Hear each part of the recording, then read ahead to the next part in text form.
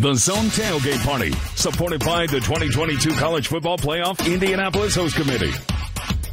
Hey, Philip Rivers here, down in Fairhope, Alabama. I'm hearing something about a banner that Guerin Catholic's trying to get at their school. I don't have on the Guerin purple, but there for about eight months, uh, I was part of that Guerin Catholic community.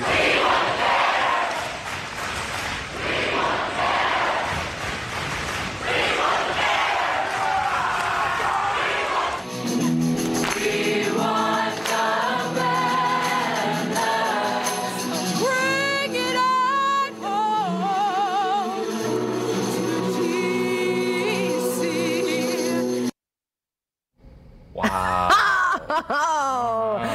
I mean, can we just say that is impressive for students at Cathedral and Guerin Catholic tonight is the night on the zone. Mm-hmm. Teams punching their ticket to Lucas Oil Stadium for next week's state finals. And of course, we reveal the 2021 Zone Banner champion, Sports Director Anthony Calhoun.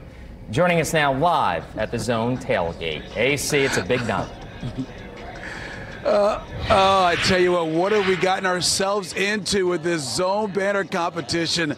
My goodness, we'll talk about that in a moment. But as you guys mentioned, these teams, they find themselves just one win away for playing for a state championship. Semi state finals tonight. We got you covered here on the zone. Want to take a look at this here.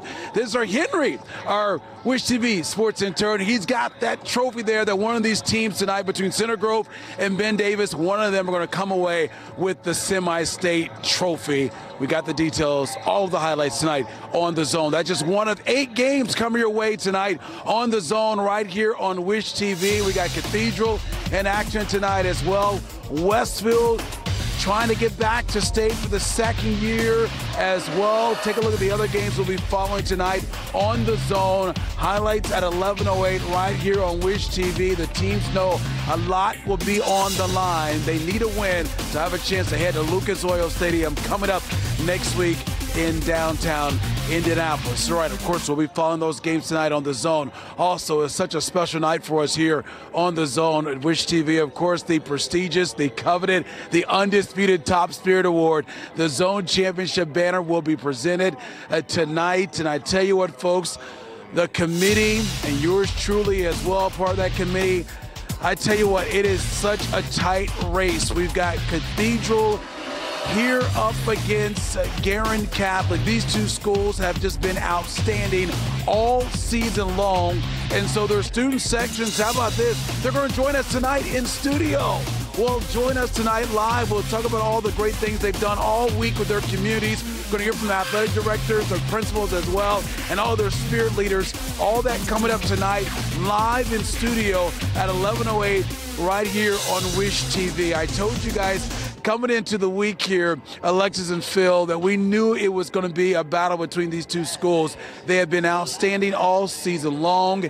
And man, when you get into that room and start voting on who's going to win, you're saying to yourself, can we give both of them the banner?